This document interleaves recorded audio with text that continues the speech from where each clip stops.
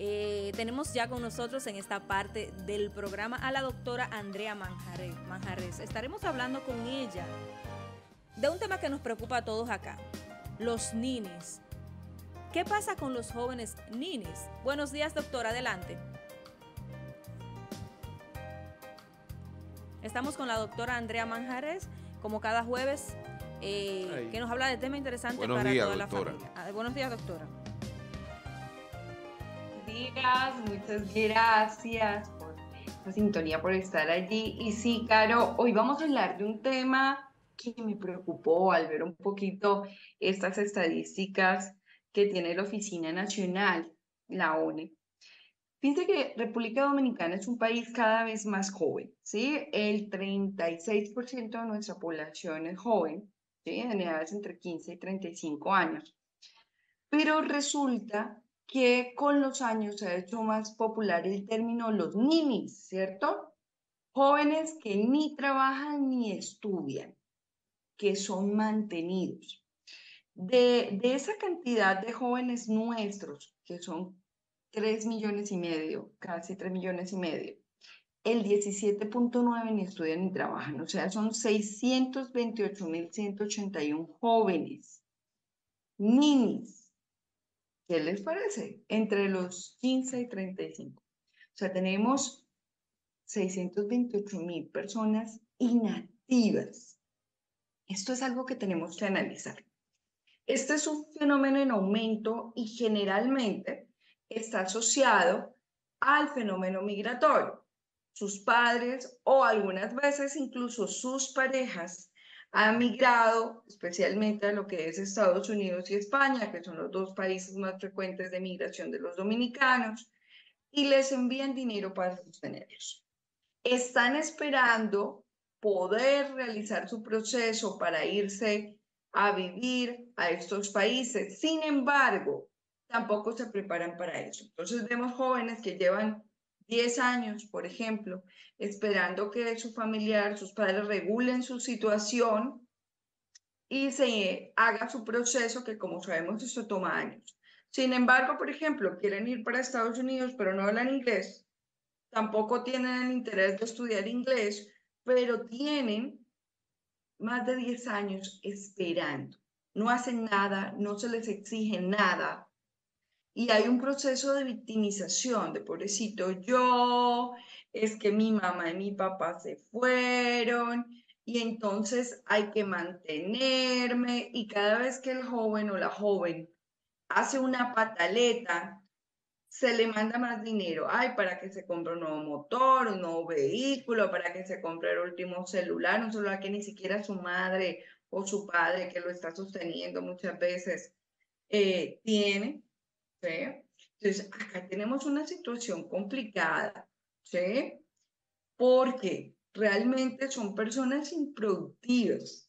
Ningún ser humano que no tenga una meta clara en esta vida, que sea improductivo totalmente, va a tener una buena salud y desde luego además son jóvenes que no son productivos, sino son una carga social en muchos sentidos porque muchas veces además se meten en alcohol, en drogas, apuestas, se meten a hacer piques, tienen peleas callejeras, se vuelven adictos también a lo que son el uso de las redes sociales, el Internet, que como vimos incluso el alcalde de Nueva York lanzó una alerta en términos de salud mental con el uso de las redes sociales cosa que me parece bastante atinada.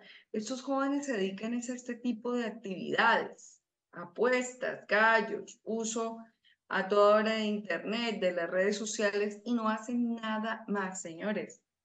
Esto es un problema. Estamos hablando de 681 mil personas, de las cuales la gran mayoría son mayores de edad. ¿Sí? No es solamente un problema de estas familias al ser un volumen tan grande de personas y personas que muchas veces terminan involucrados en problemas sociales, en violencia, en delincuencia, en pelea callejera, es un problema social y es un problema en el cual todos deberíamos de tomar acción. Por un lado, el Estado visualizar este foco de problemas muy común, y esto es importante entenderlo, estos ninis están en todos los niveles sociales, desde los barrios más humildes hasta en las familias con más poder adquisitivo. ¿Sí? Y estos ninis tienden a ser pequeños infractores de la ley, tienden a tener peleas callejeras, cada uno en su nivel social. Entonces tenemos un problema de foco. ¿Cuál es el llamado a los padres? Se sabe que hay una situación de sentirse culpable. Sentirse culpable por sentir que abandoné a ese hijo, sentir que abandoné a mi pareja, a mi sobrino, a mi, ¿sí? Pero este sentido de culpa no nos está llevando a nada bueno. Primero, usted se está enfermando porque usted no está viviendo, no está gestionando de una manera correcta sus emociones. Primera recomendación, usted que está allá afuera, busque apoyo profesional. Usted, usted es el primero que tiene el problema. ¿sí? Primero se siente culpable, está siendo fácilmente manipulado. Y segundo, está permitiendo una situación que le está haciendo daño a ese ser humano que usted ama, a ese hijo, esa hija, esa pareja que usted ama. Esto le hace daño. Que un ser humano se le enseñe a ser inútil, a ser improductivo, a no tener metas, sueños e ilusiones en esta vida y a creer que yo tengo el derecho a ser mantenido o mantenida porque sí, y especialmente con los que incluso ya son mayores de edad, pues entonces esto, en vez de ser un acto de amor y de protección y de compensación, termina siendo un acto en el que le estamos haciendo daño a ese otro ser querido. Entonces, primero, usted busque ayuda profesional. Segundo, vamos a cambiar las normas para esta persona. ¿Sí? Ok. Allá en la casa que tú tienes en República Dominicana, tienes la comida y tienes la queda allá, pero no te voy a enviar un peso para tus caprichos, para tu... Busca trabajo, ¿sí?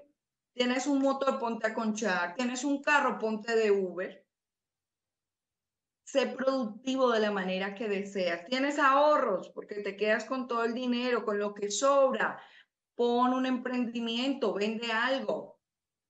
No seamos apoyadores, no estamos haciendo bien, no nos dejemos manipular. Y si estas personas también necesitan apoyo profesional, porque muchas veces incluso también han desarrollado depresión de no hacer nada. Si ustedes se quedan quietos, tirados en una cama, todo el día pegados un celular, aparte de que va a desarrollar una dependencia por adicción al Internet y a redes sociales, a juegos, a apuestas, eso también es un problema de la salud mental, un trastorno.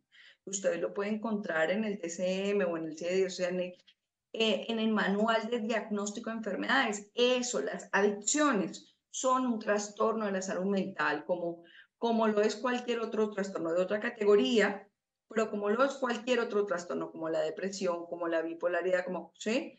Entonces, esta persona si también necesita ayuda profesional, búsquesela. Hay que ver si solamente es suficiente con psicología, si la persona ya por su nivel de adicción, otros síntomas que presente, necesitaría psicología y psiquiatría. Y un profesional de la de la salud mental que preferiblemente también trabaje de manera online. ¿Por qué? Porque también necesitamos sesiones de familia. Necesitamos sesiones donde usted, usted, señor familiar que se encuentra viviendo fuera del país y este joven, Nini, tengan un espacio de conversación. Ah, que a esta persona no le va a gustar, claro que no le va a gustar.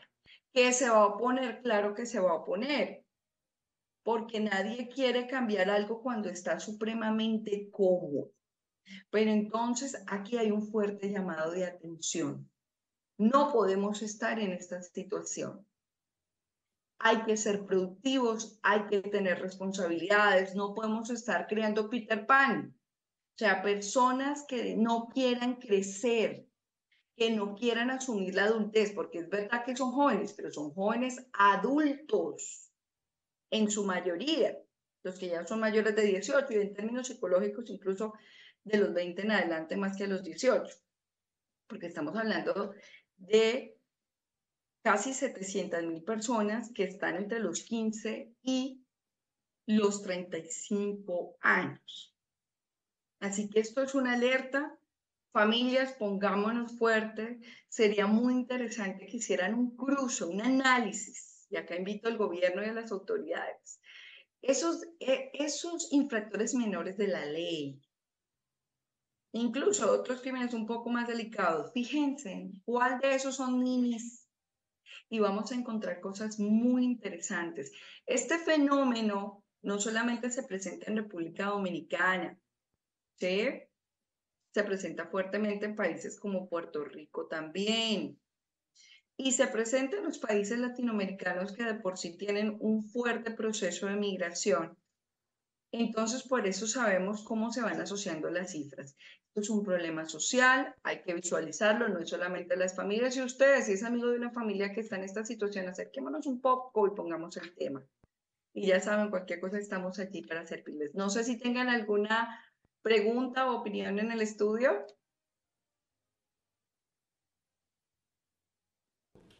Sí. bueno, es alguna forma de... Hello, hola, doctora. sí, doctora. ¿Todo bien? Qué bueno verte. Todo bien. Y qué bueno verte. Interesante tema, como siempre. Nosotros por acá no tenemos ninguna inquietud. Yo por lo menos no, no sé Carolina. No, los nini, no es fácil. Bueno. Eh, nada, agradecidísimo de tu presencia como cada jueves y ahora nos vamos a ir a la pausa.